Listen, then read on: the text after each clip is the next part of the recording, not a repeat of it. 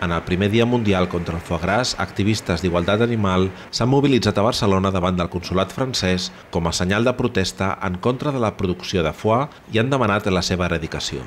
Equipats amb material audiovisual que mostra com les aus són encebades, han fet un lliurament d'una carta al cònsul instant a França a posar fi a l'alimentació forçada dins de les seves fronteres. Hem de recordar que França és el principal productor del món. Només França produeix un 75% d'aquest producte.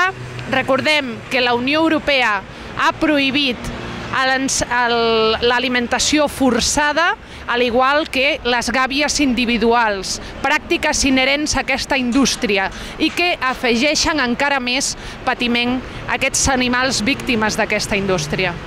Aquesta iniciativa ha tingut lloc durant la Setmana Mundial contra el Foie Gras, en suport a la crida de l'ONG francesa L214 i dels grups internacionals d'igualtat animal que han dut a terme accions simultànies a Londres, Stuttgart, Madrid i Bordeus.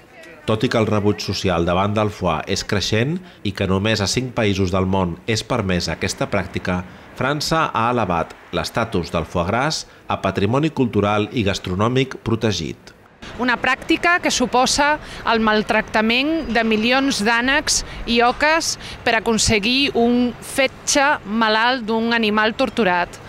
L'encebat consisteix en alimentar per força a les aus amb grans quantitats de menjar, inserint-los tubs pel bec fins l'estómac, per tal de provocar-los una malaltia anomenada lipidosi hepàtica.